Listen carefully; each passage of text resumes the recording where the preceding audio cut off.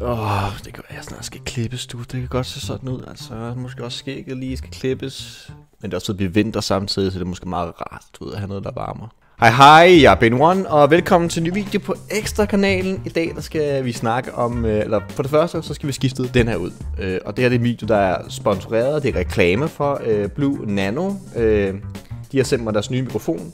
Den skulle faktisk have de samme specs som den her store her. Den er bare meget mindre, den er faktisk øh, det pænt meget mindre. Så den skal vi have smidt på og testet den.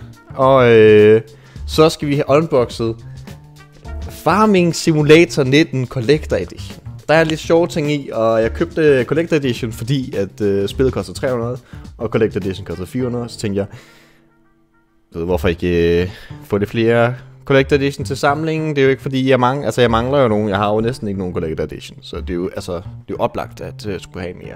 Så jeg så skiftet den her ud. Nu. Sådan der. Meget mindre. Meget mere nice, håber jeg. Jeg håber, lyden går fint igennem. Men det vi skal, det er, at vi skal unboxe Farming Simulator 2019. Der er mere spændende ting i. Jeg vil ikke afsløre endnu, hvad det er, der er i Collector Edition. Men jeg vil sige, altså i forhold til, der, altså, det er ikke super nice, det der er i Collector Edition. Jeg har det meget sådan, at øh, jeg synes med tiden, så det der er i Collector Edition, det begynder at være meget sådan, meh. Altså i World of Warcraft, øh, der har jeg sådan, øh, selvom jeg ikke rigtig har spillet så har jeg nogle Collector Edition af dem. Og der har det været meget sådan, at øh, der var måske nogle, et, et helt kort spil med og sådan noget der. Og i dag der er det bare kun, øh, du ved, in-game content. Du, ved, du får næsten ikke en skid med And then, Øh, jeg tror sådan, der, du fik også en musemod med før i tiden, og så lige pludselig så var der bare ikke det mere med, altså. Så det der med at have fysiske ting, det, øh, det har man ikke så meget mere. Vi har her nogle øh, øh, nogle rigtig flotte kort her. Øh, jeg ved ikke, om det er postkort, eller om det bare er kort. Af nogle rigtig smukke billeder i, i farming. Øh, om det er, om det er artwork, så concept art.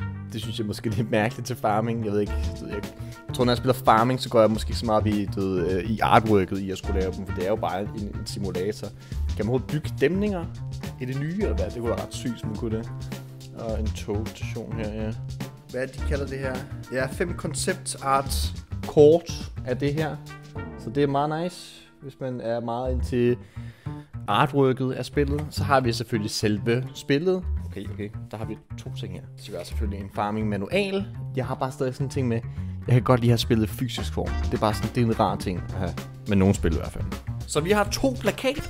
Vi har simpelthen to plakater Og den ene, og, og det er ikke noget, vi har to plakater, så er der to ting på hver sin side. Så vi har først billedet af en kæmpe traktor, øh, som jeg kan ingen over til seng, hvis man har lyst til det.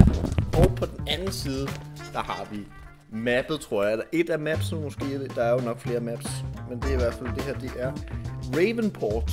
For ikke nok med, at der er én plakat, så er der en mere. Og det er jo teknisk set mere end en. Her har vi en anden, øh, et andet map, der hedder... Ligner meget det samme, det andet der. Og her har vi så et billede af...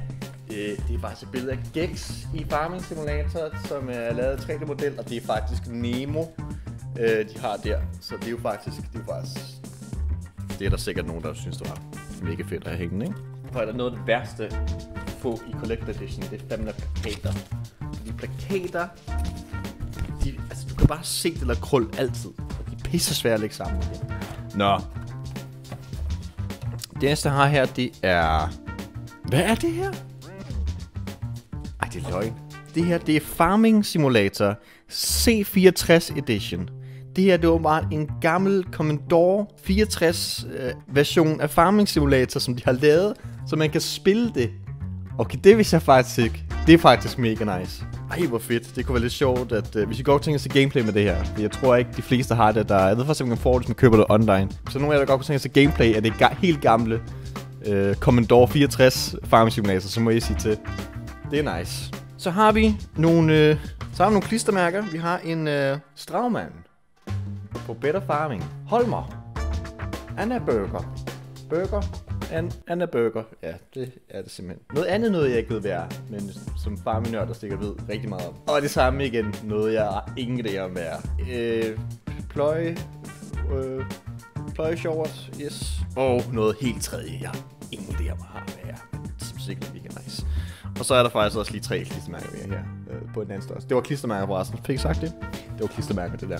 Så har vi selvfølgelig øh, tutorials video. Fio på resismo. Hvorfor står det på fransk? Det er irriterende. Modding video tutorials. Jeg har fået en helt CD med modding video tutorials. What? Okay, man får faktisk ret meget nice med.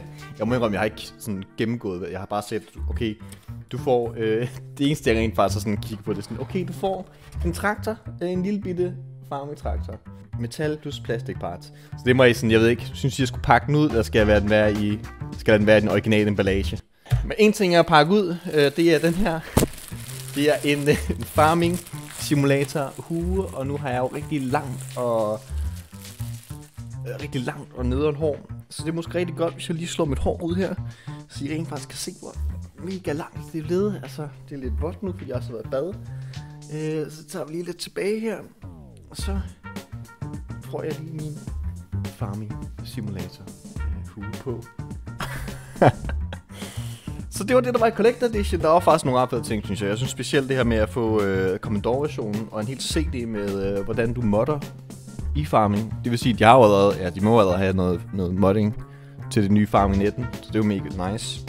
Ikke noget, jeg har tænkt mig at rode ned i, men hvis man er kæmpe farming-fan og, og godt ved at tilføje nogle maskiner, så er det jo mega rart, at man kan gøre det. Men det var den her video. Jeg håber, nød den. Hvis I gjorde, så husk at like. Og hvis I godt kunne tænke at se noget farming øh, meget snart sammen med Gex og de andre, så også husk at like. Vi ses meget snart. Så en lille reminder, hvis du har tænkt dig at købe Collector Edition, ligesom jeg gjorde. Hvis du køber den i fysisk form, eller køber en key ved siden af, som ikke er gennem Steam, så kan du ikke aktivere keyen på Steam. Det er ikke muligt. Og udover det, så når jeg har den i fysisk form installeret, jeg skal have CD'en i hver gang jeg åbner spillet, for at kunne åbne spillet. Hvilket er rigtig nederen, når jeg ikke har et CD-drev, og det er kun en ekstern CD-drev, jeg har. Så det er lige en, øh, en good to know ting, hvis du har tænkt dig at købe Collector Edition selv. Hej hej.